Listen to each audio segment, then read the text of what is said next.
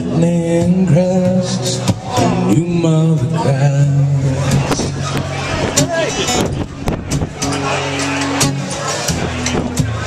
A placenta falls the floor.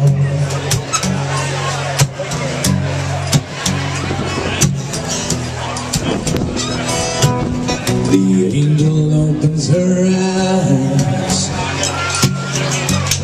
Confusion sets in before the doctor even closed the door.